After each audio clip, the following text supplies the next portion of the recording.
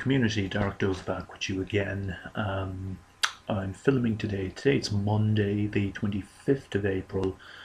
Uh, probably will leave it a while to throw this video up. Uh, I do have another video up at the moment, so I don't want to follow it up too soon, so I may leave this till the end of the week.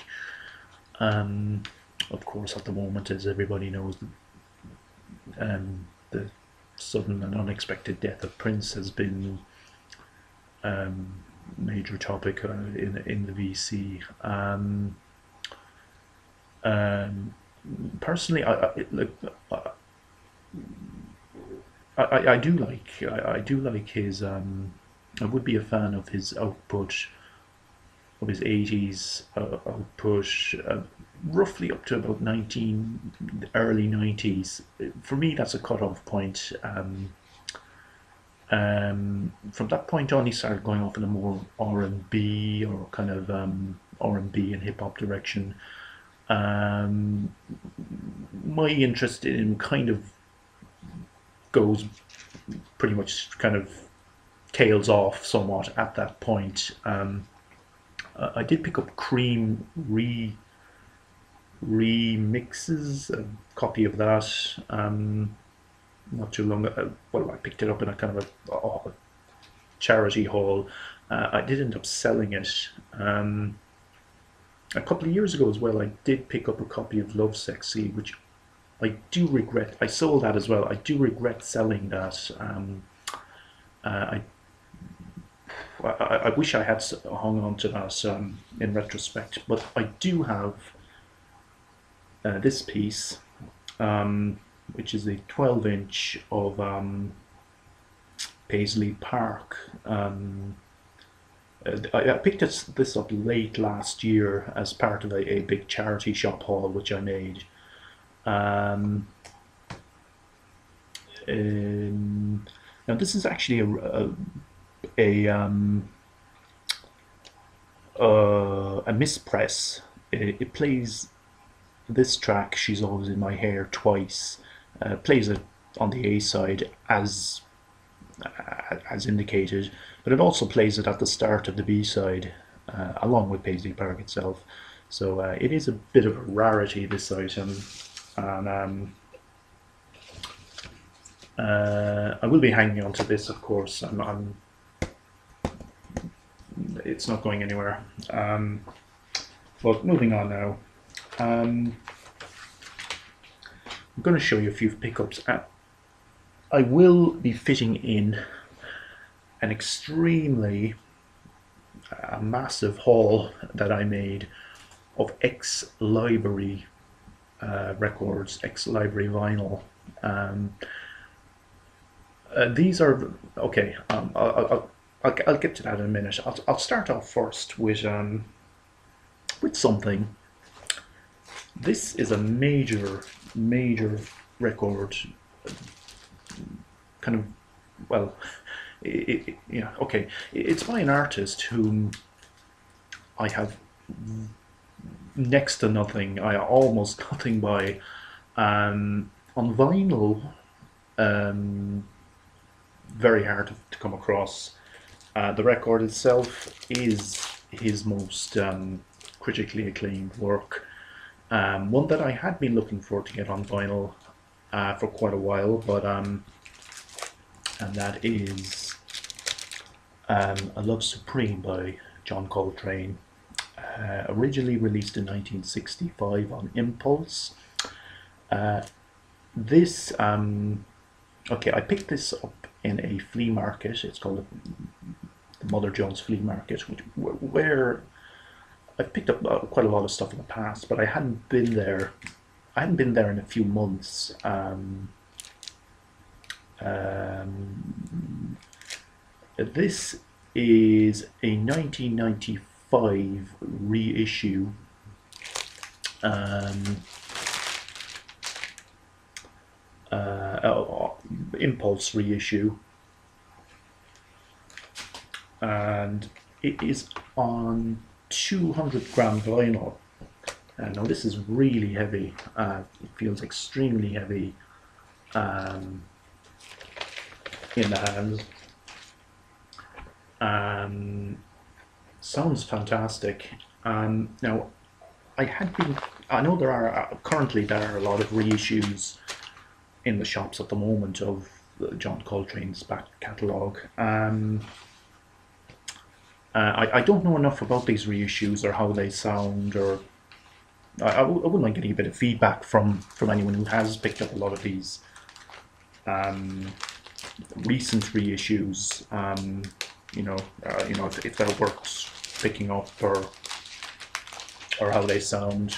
Uh, this sounds absolutely excellent, um, but as everybody knows, originals. I mean, for one thing, where I come from, you just don't see originals of um, of Coltrane, eh, and especially not this album, of the Love Supreme.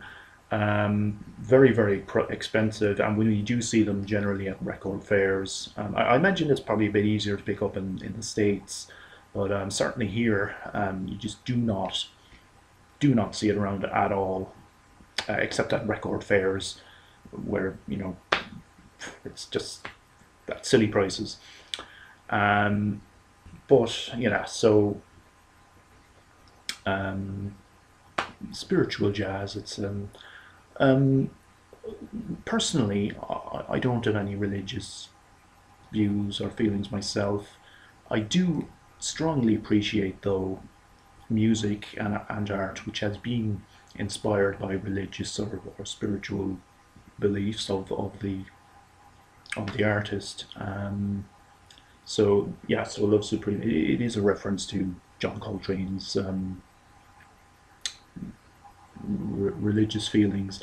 Um, interestingly, he there, there's a I was reading about a church in um, some church in San Francisco where they worship like they kind of basically worship him as a god, and they have like an image of him in in stained glass, which is a really nice piece of work. The stained glass, if you if you that's just anyone to look it up, you know, um, online.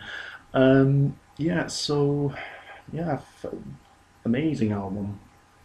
Um, a must-have and um, you know one of the seminal music um, works of the 20th century, basically, and very very happy to have it in my collection. Uh, my very first John Coltrane vinyl.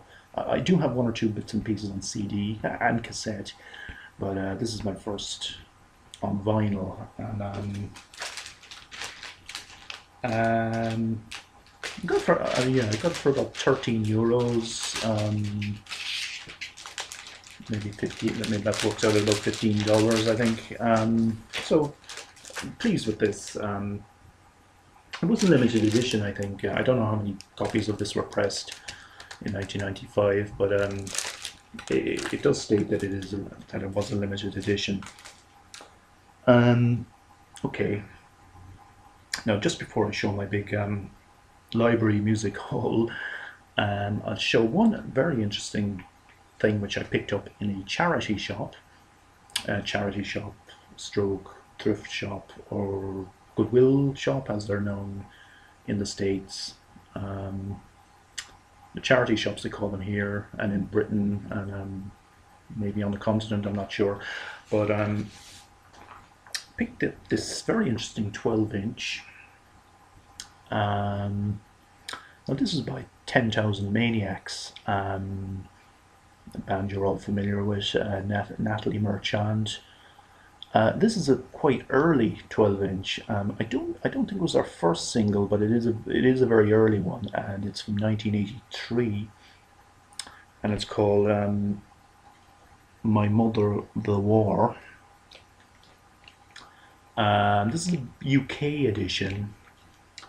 Um, interesting label there, and Christian Burial Music, and distributed by Rough Trade.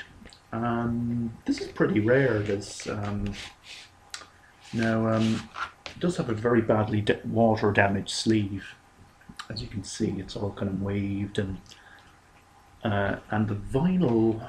Um, sorry, two seconds. Um, I put it into a new uh, bag, but the vinyl uh, does have these. There's a couple of marks on it. Um, see that white mark there? Um, I thought that was part of the um, the inner bag after getting stuck to it, and I was kind of I was going with my fingernail trying to scrape it off very gingerly, but it's not actually. It it, it, it is a mark on the vinyl, but it's just it, like it's turned white. I, have never seen that myself before, so I, I, don't know. But it is like an actual kind of a where it's just been kind of bit of vinyl kind of chipped off or something.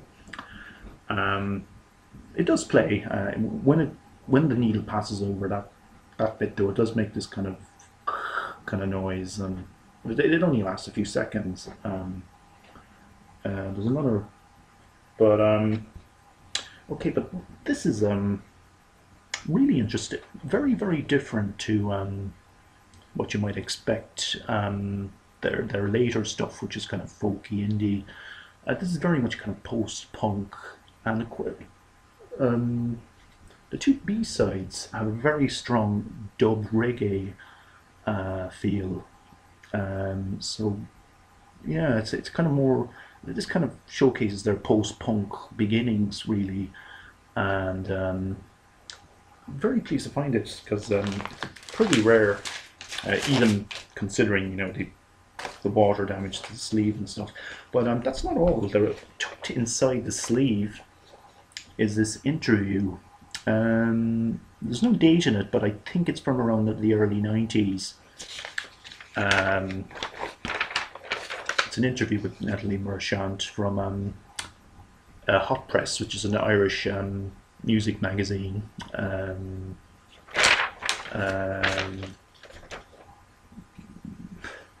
um, um, so that was that was quite interesting to find that. I haven't actually read it yet. Um, let's have a read of it when I get the chance.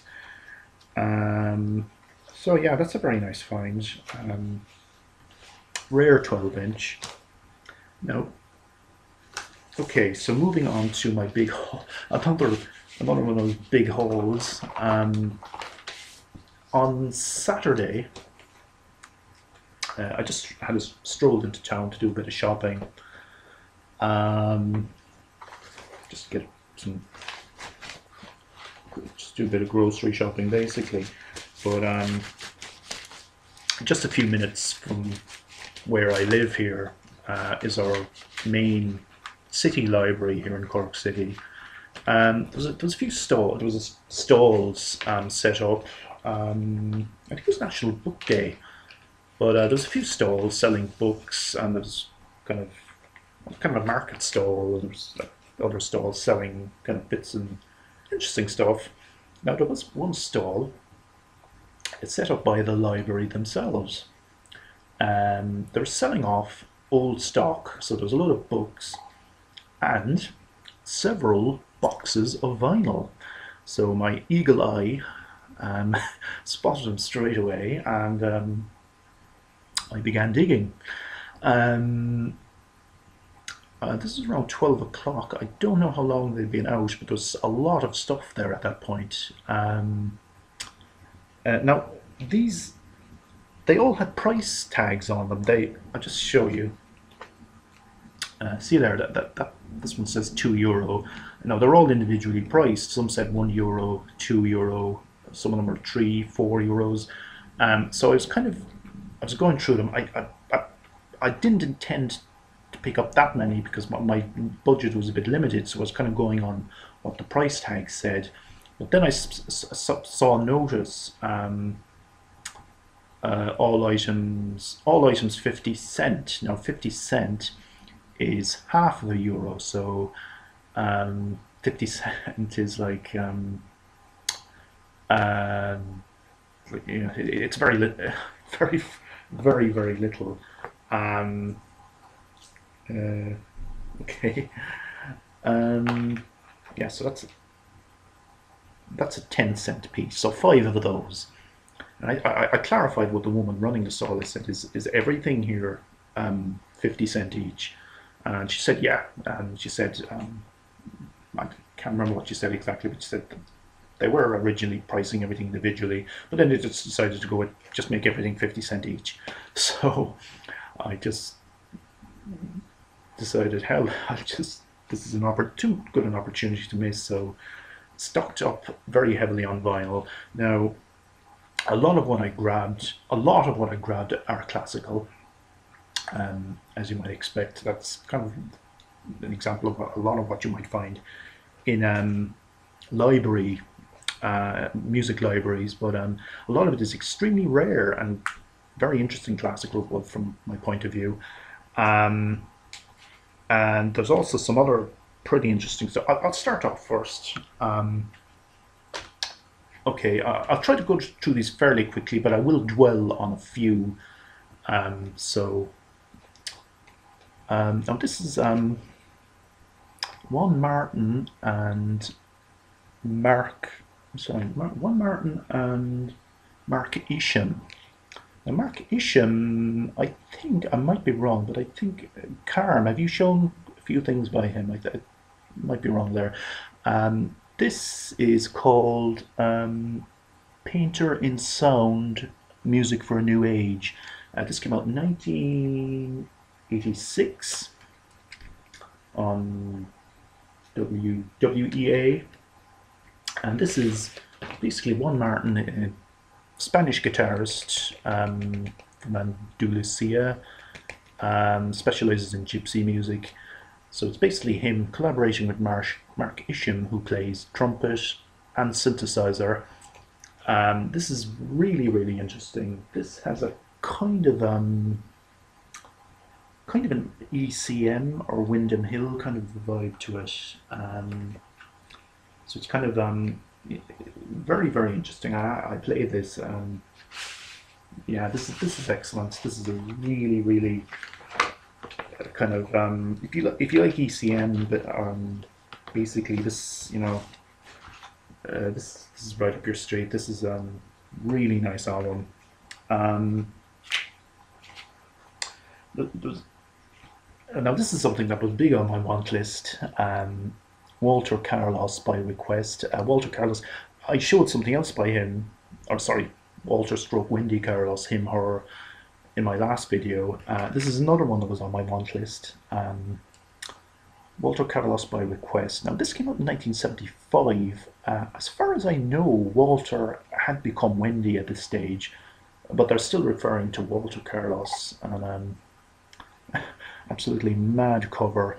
Um, covers um, everything from Bach, Burt Bacharach to the Beatles, and uh, they're all depicted on this kind of cartoony sleeve there this crazy gorilla. Um, some of Walter Carlos's um, compositions are on this as well, and they are really there's a really kind of um, um, on side one, and there's really kind of Stockhausen kind of a vibe. Um, yeah, so Philip Philip Ramey on on piano on those pieces. I really really like those pieces.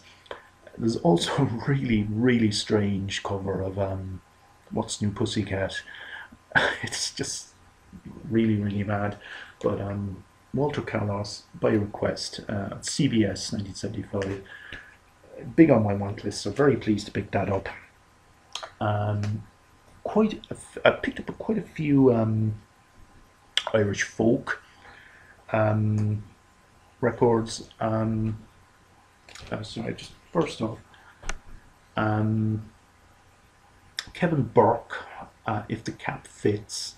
Um, this is on a label called Mulligan.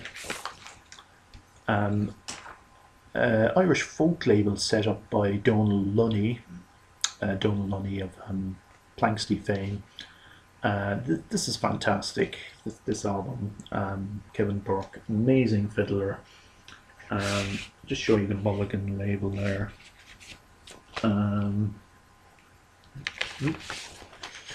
Okay. Kind of leprechaun kind of man on it. Um, uh, yeah, so uh, Mulligan active from about the mid 70s to the early 80s. Um, uh, set up specifically for folk, but uh, one thing a lot of people might not know about the Mulligan label is that they it was also instrumental in it also released the the very first Irish um, punk um, bands releases Uh, there was qu- quite a few, the very early Boomtown Rats and um, Radiators from Space. Radiators from Space were the, I think, the very first Irish punk band. Uh, a, lot of them it released a lot of stuff by uh, by them as well. Um, but anyway, that that's besides the point. But this is If the Cap Fits by Kevin Burke, and uh, quite a rare album. Um, it goes for quite a lot. So very nice find for fifty cent. Um, this is another one with Kevin Burke um, and um, uh, Jackie Daly, and this is called Eavesdropper. It's from 1981, and this is also on Mulligan. And uh, this is another uh, Touchstone. Uh, this um, these were kind of Irish American. Some members Irish, some members American. Kind of um, crossed Irish traditional music with um, uh, bluegrass. Um, this came out in 1982. It's called A New Land uh, on Green Linnet. Um, Mihal O'Donnell and Trina.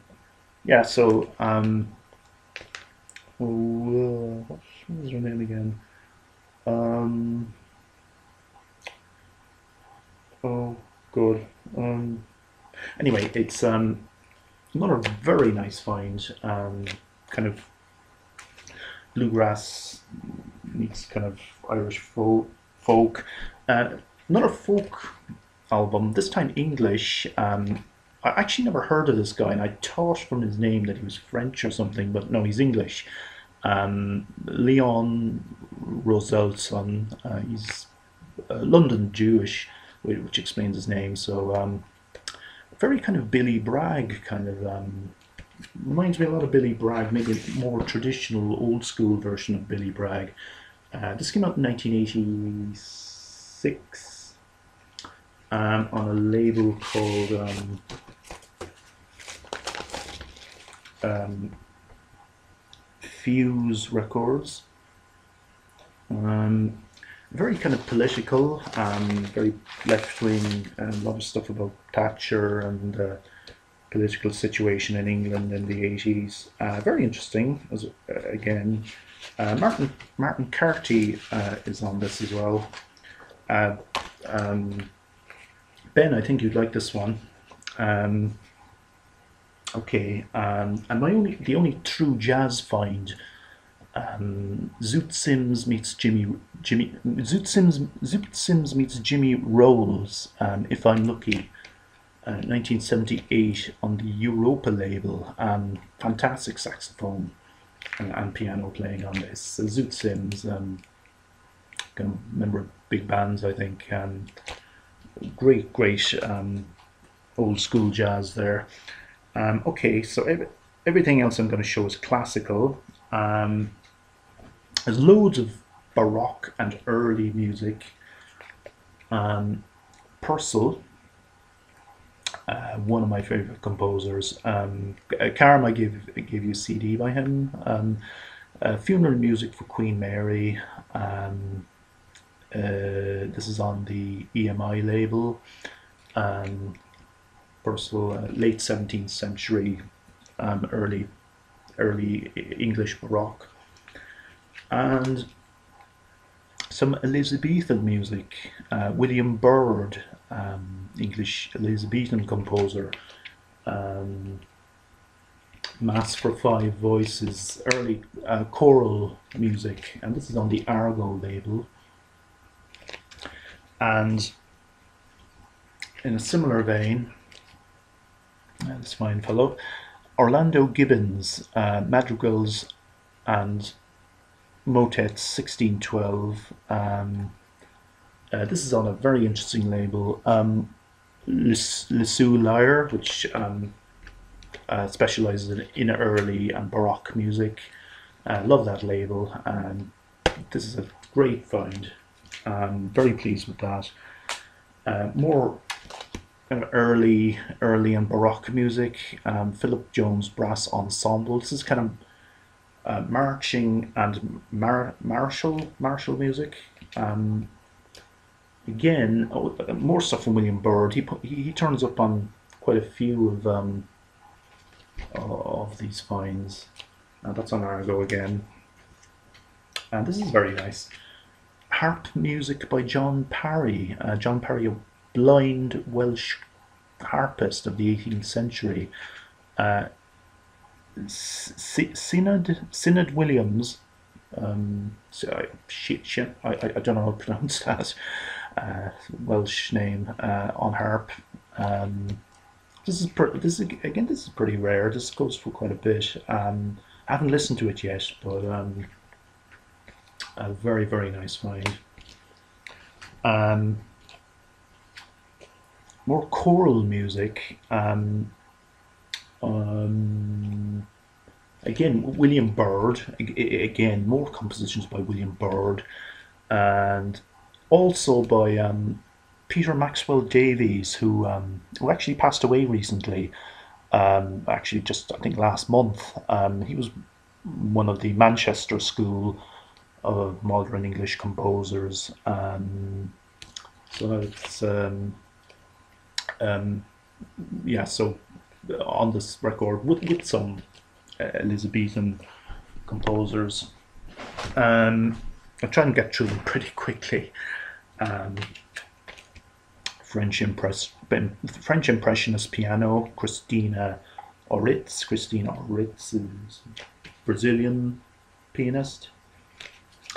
Um, more piano, Grieg, piano concerto. Um, this is on Decca. Um, and um, very pleased to find these two. They're actually part of part one and part two. John Field, uh, the John Field, the Irish Chopin, um, Irish composer of the early 19th century, um, is nocturnes, and he's he's hard enough to find his stuff, his his his work in the wild. Um, this is on Turnabout, uh, very interesting label. Uh, this was released in 1970, and this kind of, this, this artwork is kind of an example of how psychedelic imagery even permeated um, classical kind of artwork, classical music artwork. Um, so, um, and again, a kind of psychedelic looking um, and Fauré, um, two French composers. Um, this is on this is on Decca. Um, again, another great cover, a Janek, Janacek, um, Czech composer. Uh, also on Decca. Oh, and this I'm very pleased to find this one. Uh, Stravinsky, The Rites of Spring. Um, I have quite a few versions of the of the Rites of Spring, uh, including another one conducted by Boulez. Um, Pierre Boulez, that um, French avant-garde co- composer and conductor who passed away recently. Uh, this is um, Rites of Spring. This is on CBS, I think, from 1969, and again, pretty pretty interesting, kind of almost kind of almost psychedelic influence cover. Um, Prokofiev um, and Bartok and this is on this is on Philips, I think. Um, some modern English composers on here, music for clarinet and piano. Um, and finally, uh, this is one I was going to leave behind at first because it was marked four euros, um, but that was before I found out that everything was 50 cent, so um, added this in the end. Um, uh, Nicholas Danby, occasional pieces and romantic organ works. Uh, this is a double album. Um, mm, it's on a label called Diamond Cut, which I've never seen before. Okay, so that total haul came to a total of um, 11 euros and 50 cent, I think, which I think roughly is roughly equal to just about 13 US dollars. So 23 records. um, at 50 cent each. Now, 50 cent is, I think that is like the lowest I've ever picked up individual vinyl vinyl album pieces for. Um, generally, even in charity shops, it's highly unusual to find records for even as low as a euro.